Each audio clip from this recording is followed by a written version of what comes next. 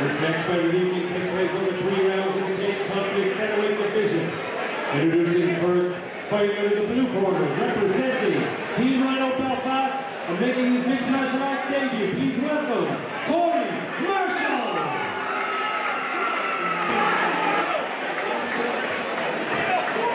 Please welcome his opponent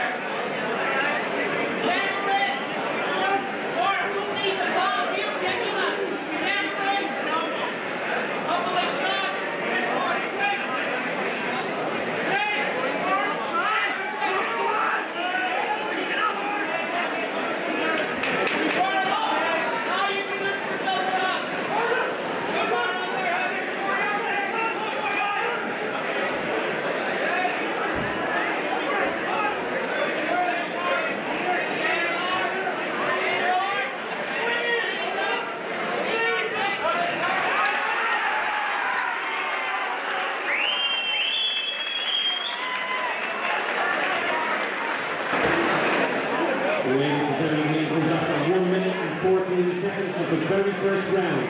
Your winner by submission